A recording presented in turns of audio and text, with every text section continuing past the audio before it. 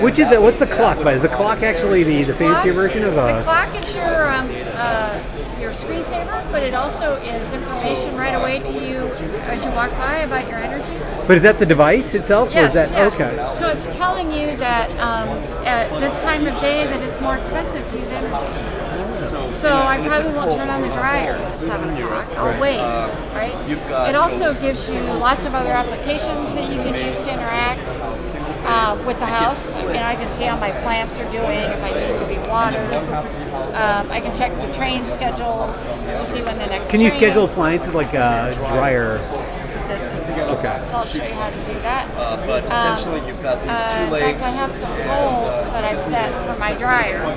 Okay. legs, and then you Uh, it doesn't operate very well, um, and so there's suggestions from appliance uh, vendors of different uh, models that might be more efficient. But I can also um, set different goals and get suggestions on ways to improve the way Use moisture that I use- timing, dry out. Yeah, dry peak.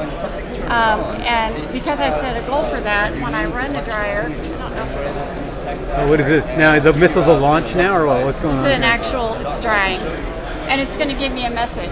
You know, it says, um, you know, here's different things that you can do with the dryer. Oh, okay. So you want to just yeah, show us something. The other thing that it says, because I've set the goal, is if I leave the house, from that glare from that thing. it'll tell me that um, to a couple things. It'll it'll reset the house. So you know, Right. you know, when you leave the house, you have it set so that the temperature will go up, security system goes on. So you can integrate all the different aspects in the house. But it'll tell you, you know, you forgot to turn off the stove, or remember you want me to dry off peak, and I'm going to wait to dry till off peak. Oh, so it's like on your phone. You left. You. Oh man, I totally forgot about that. Yeah, Okay. yeah.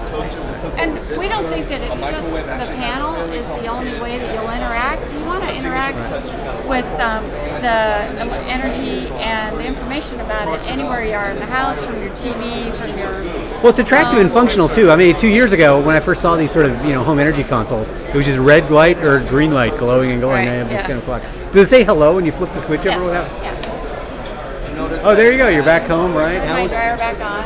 Uh, gave me some notification. Uh, told me somebody left me a video memo